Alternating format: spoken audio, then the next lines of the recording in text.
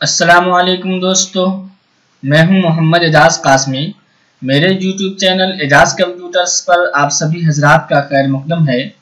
आज मैं फिर से हाजिर हुआ हूँ कोरल रा के नए ट्यूटोरियल के साथ और आज मैं आपको बताने वाला हूँ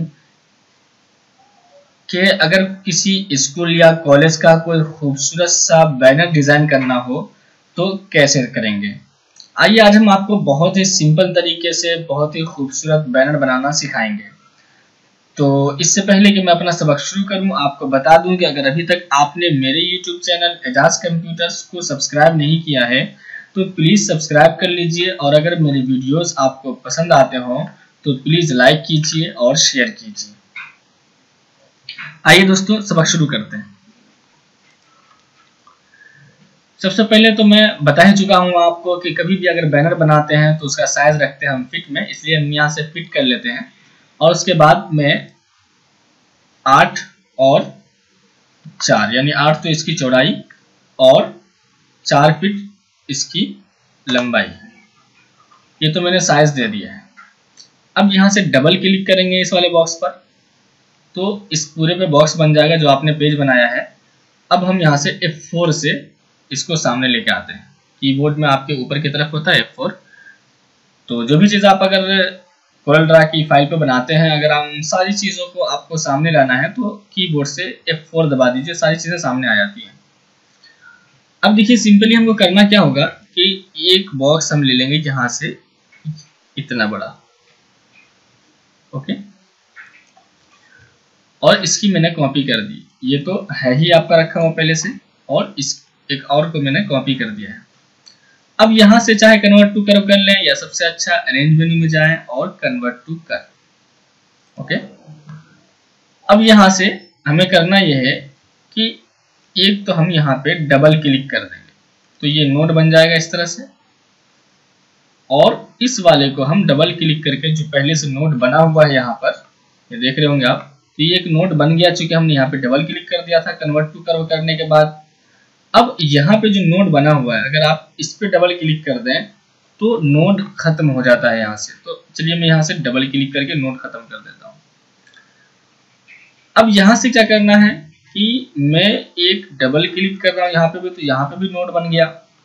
अब इस पे एक मरतबा क्लिक करके और यहाँ से हम कर देंगे कन्वर्ट टू कर ओके और ऐसे ही फिर अब इस हिस्से पे भी एक मरतबा क्लिक करके कन्वर्ट टू कर अब इसको तो मैं लेता हूँ इस तरह से थोड़ा सा नीचे, और इसको हम थोड़ा सा कर लेते हैं ऊपर की तरफ़।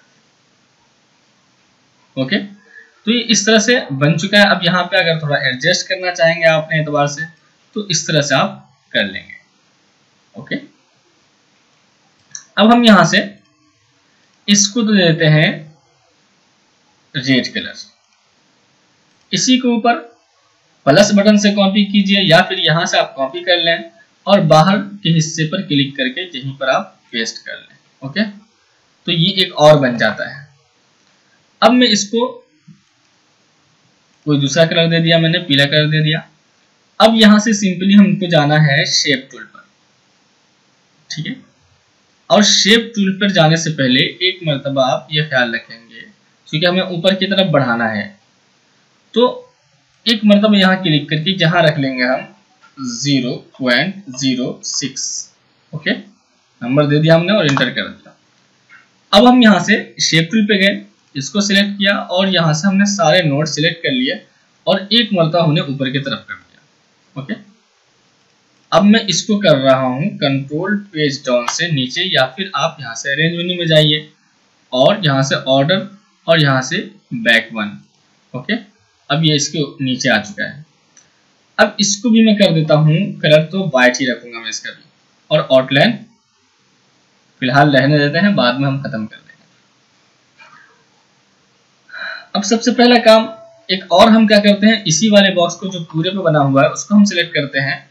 और यहीं से हम कर लेते हैं, एक ऊपर की तरफ़ इस तरह से कॉपी और इसको भी हम कलर दे रहे हैं रेड ही। ठीक है? अब एक और बॉक्स में यहीं से क्लिक करता हूँ और यहाँ तक मैंने एक और कॉपी कर दी इसकी। देखिए, जब भी मैं बना रहा हूँ तो कॉपी ज़रूर कर रहा हूँ। आप माउस के राइट बटन से ज़रूर कॉपी कर लिया करें। अगर आप इसको छोड़ देंगे तो यही वाला छोटा हो जाएगा। तो चूँकि हम कॉपी करते हैं तो ये भी रह जाता है और एक और बन जाता है। ठीक है? तो माउस के राइट बटन से आप कॉपी करना सीख लें, पहले प्रैक्टिस कर लें। ओके अब यहाँ से मैं इसको पकड़ करके सिर्फ़ एक कोने को कंट्रोल के साथ कंट्रोल दबा लेंगे और इस तरह से मोड़ देंगे। ओके तो ये बन चुका है। अब हम इसको भी सिलेक्ट करेंगे शिफ्ट के साथ इसको सिलेक्ट कर रहे हैं और आउटलाइन खत्म। ओके अगर आप इसको थोड़ा सा नीचे की तरफ़ करना चाहें तो कर दें इस तरह से। ओके ये तो हो चुका है। अब देखिए हमें मेटर कैसे सेट करना है इस पर तो चलिए मैंने मेटर रखा हुआ है। मैं पहले वो लेके आ जाता हूँ। यहाँ पे जाएँगे। और मैं सबसे पहले यहाँ से इंपोर्ट कर लेता हूँ मेटर को। असल में मेटर लिखने में थोड़ा वक्त लग जाएगा तो वीडियो लंबा हो जाता है, इसलिए हम पहले से लिख के रख लेते हैं ओके अब मैं थोड़ा सा इसको छोटा करके इधर रख लेता हूँ, सबसे पहले। और यहाँ से प्रोपराइटर का नाम हम यहाँ पे रख देंगे। ये, और इसको हम दे देते हैं व्हाइट कलर ओके यहाँ से व्हाइट इसके अलावा, यहाँ पे देखिए हम क्या करने वाले हैं। एक और बॉक्स बनाएँगे हम। यहाँ पे एक छोटा सा बॉक्स बनाएँगे इस तरह से। और थोड़ा सा हम कर लेते हैं इसको जूम ताकि हमें देखने में आसानी हो। और इसको सिलेक्ट करेंगे शिफ्ट के साथ इसको सिलेक्ट करेंगे और हम दबा देते हैं एल यानी कि लेफ़्ट में बराबर हो जाएगी। और इसको थोड़ा सा हम और छोटा कर देते हैं ओके और इसको हम कलर दे देते हैं व्हाइट और आउटलाइन खत्म। यहाँ से इसको सिलेक्ट कीजिए कंट्रोल दबाएँगे और इसको मोड़ दीजिए और ऐसे ही कंट्रोल बटन दबा करके इसको भी हम मोड़ देते हैं। ओके अब यहाँ से हम इसमें उठा के रख देते हैं training free shift page up से ऊपर और ये। मैं इसी को कर देता हूँ, यहाँ से जूम अब आपको कितना बड़ा रखना है, नहीं रखना है यह आप अपने हिसाब से इस तरह से एडजस्ट कर लेंगे थोड़ा सा। ओके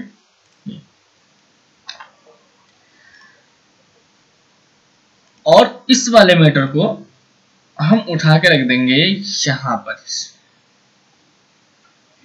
ओके और इसको मैं दे देता हूँ व्हाइट कलर अब यहाँ पे देखिए, फ़िलहाल हम यहाँ तो हम इसको रख लेते हैं यहाँ पर, इस तरह से। ठीक? अब हमें करना क्या है? सबसे पहले एक हमें एडमिशन ओपन के लिए बनाना है।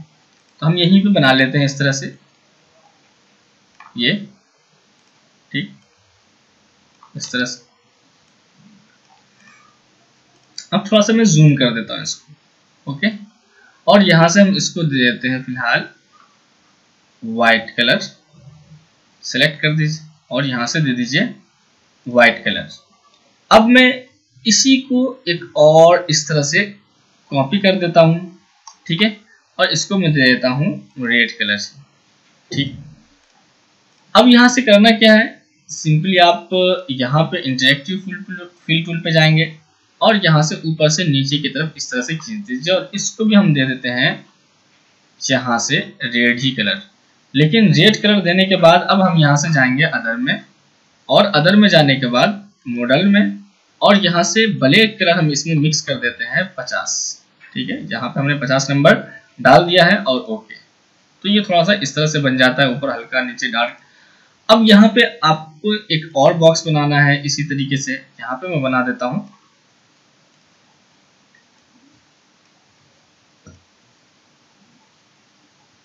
ठीक है। ये। और इसके कोने को शिफ्ट के साथ, पहले तो हम इसको सी कर देते हैं, यानी कि बीच में। और यहाँ से हम इसको भी देते हैं व्हाइट कलर ही। और इसके कोनों को हम थोड़ा सा मोड़ देते हैं। ओके पहले चाहे थोड़ा सा और बड़ा कर लेते हैं इस तरह से। और फिर हम यहाँ से कोने से इसको मोड़ देते हैं। बगैर कंट्रोल करें ताकि चारों तरफ़ से मुड़ जाइए इस तरह से। ठीक है? अब हम क्या करेंगे? यहाँ से कंट्रोल टूल पे जाएँगे और यहाँ से आउट साइड और यहाँ से हमें एक ही लेना है। ठीक है? और यहाँ से 0.02 है तो हम 0.03 कर देते हैं, बल्कि कर देते हैं 5 0.05 ओके अब हम फिर से इस पर क्लिक करके एक मरतबा ब्लैक पे क्लिक कर दिया हमने, और यहाँ से ब्रेक ताकि ये अलग हो जाए और ये अलग हो जाए। अब यहाँ से हम क्या करेंगे, इस वाले को सिलेक्ट करके डबल क्लिक करेंगे, और ओके और इसको सिलेक्ट करने के बाद हम कर देंगे कंट्रोल आर तो ये कलर इसमें आ जाता है और इसको हम कर देंगे इसी तरह व्हाइट ही जैसे कि हमने पहले से दिया था। ये तो हो गया। अब हम यहाँ से इसका करते हैं आउटलाइन खत्म। सेलेक्ट कीजिए और यहाँ पर आके राइट क्लिक कीजिए। आउटलाइन खत्म। ऐसे ही इस वाले को भी, जो हमने बनाया हुआ है, इसको भी हम आउटलाइन खत्म कर देते हैं। ओके और इसको हम लाके रख देते हैं यहीं पर फिर से। ये एडमिशन ओपन इसको हम कर देते हैं थोड़ा सा छोटा और इसको भी कर देते हैं छोटा, ठीक है? लेकिन ये दोनों चीज़ें नीचे रह गई। तो हम इसको क्या करेंगे? अंदाजे से सिलेक्ट कीजिए इस तरह से। ये आ गया। और शिफ्ट पेज अप दबा देंगे या फिर अरेंज मेन्यू में ऑर्डर में जाएँ और यहाँ से शिफ्ट पेज अप ये वाला यानी टू फ्रंट ऑफ़ लेयर ठीक है? और यहाँ से हम इसको कर देते हैं थोड़ा सा छोटा एडजस्ट कर दीजिए। और यहाँ से हम इसको रख देते हैं, यहाँ पे और व्हाइट कलर दे देंगे। ऐसे हम यहाँ से भी एक, इसी तरह से इसको शिफ्ट पेजअप से ऊपर, यहाँ से सी और ई e कर दीजिए तो ये बीच में आ जाता है। यानी जिसको करना है बीच में, पहले उसको सिलेक्ट कीजिए शिफ्ट के साथ, जिसके बीच में करना चाहते हैं, उसको सिलेक्ट कीजिए। जैसे कि मुझे इसको करना अगर मैं इसको कहीं भी रख दूँ, ठीक है? यहाँ रख दिया हमने। तो शिफ्ट के साथ फिर हम बाद में इसको सिलेक्ट करेंगे, जिसके बीच में करना चाहते हैं। शिफ्ट के साथ मैंने सिलेक्ट कर दिया दोनों सिलेक्ट अब सी और ई e दबाएँगे, ठीक है? अरेंज मेन्यू से यहाँ से अलाइन एंड डिस्ट्रीब्यूट में देखिए सी और फिर यहीं से जाएँ ऑर्डर और यहाँ बल्कि अलाइन और यहाँ से ई e. ये बीच में आ जाता है, इसको हम कर देते हैं फिर से वाइट कलर ही ओके? अब देखिए हमें करना क्या है कि कुछ इमेजेस लाने हैं और इसकी सेटिंग करनी है। तो चलिए सबसे पहले मैं इस इमेज की सेटिंग कर देता हूँ ओके यहाँ से हम लेके आएँगे इसको और यहाँ से हम देखिए इस तरह से थोड़ा सा बड़ा सा रखेंगे इसको और यहाँ से हम कर देंगे लेफ़्ट में एल यानी देखिए इसको हमें इसके लेफ़्ट में करना है तो पहले हम इसको सिलेक्ट करेंगे, बाद में इसको सिलेक्ट करेंगे और एल दबा दिया ठीक है? अब हम क्या करेंगे, इसको थोड़ा नीचे की तरफ़ लेके आते हैं, ठीक? लेकिन अभी देखिए यहाँ पे ऊपर में आ जा रहा है तो हम यहाँ से क्या करेंगे effect power clip place inside और इसमें टच तो अब ये चीज़ अंदर चली जाती है, यहाँ पे जो आप देख रहे होंगे। पहले ऐसे था और बाद में हमने इसको ऐसे कर दिया तो यहाँ पे आप देखेंगे, इससे फ़र्क पड़ता अच्छा लगता है। ठीक है?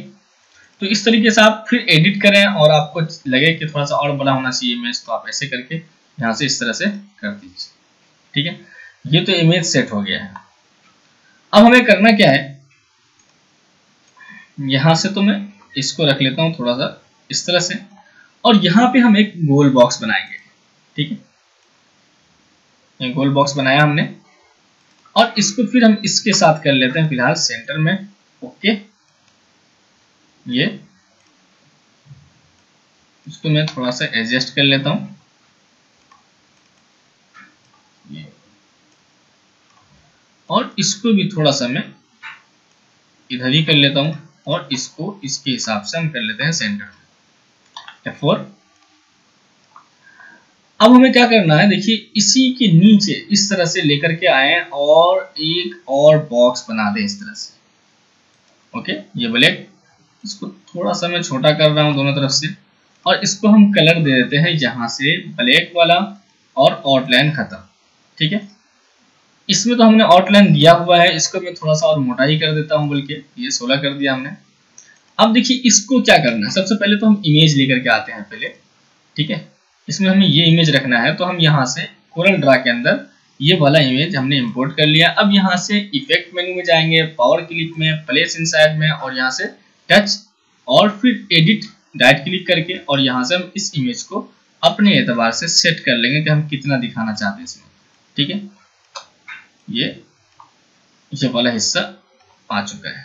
अब मैं इसको कर देता हूँ। फिनिश तो ये इस तरह से आ जाएगा। अब देखिए, ये ऐसा रखें आप कि जैसे लगे कि इसके ऊपर रखा हुआ ये।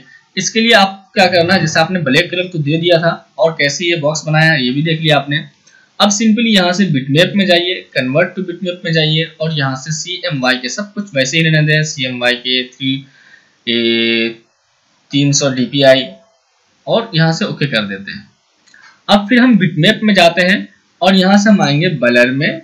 और यहाँ से हम आएँगे, ये गोसियन बलर अब यहाँ से हमें करना क्या होगा, देखिए, इस तरह से हम इसको बलर कर देंगे। ठीक है?